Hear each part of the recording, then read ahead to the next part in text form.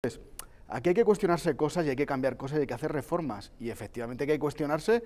cuando se ríen de ti en la cara el Parlamento Europeo, hay que cuestionarse el tema porque, según nuestra Constitución, la estancia mayor desde el punto de vista judicial es el Tribunal Supremo. ¿eh? Entonces, eh, que de manera constante, que no funciona la euroorden, eh, resulta que ahora nos cuestionan el tema de las sentencias. Es que es,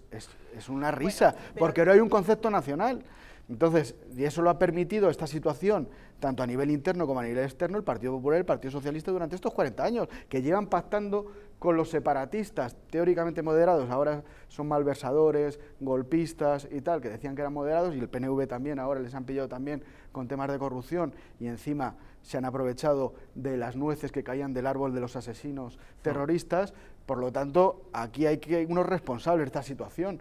he llegado el momento, efectivamente, de que los diputados y los políticos que tengan una conciencia de soberanía nacional, de igualdad de oportunidades de los españoles, cambiemos las cosas. Y ahí está Vox para defender a los españoles que están cansados de esta situación, de este status quo que no hace más que eh, perjudicar a los españoles. Bueno, pero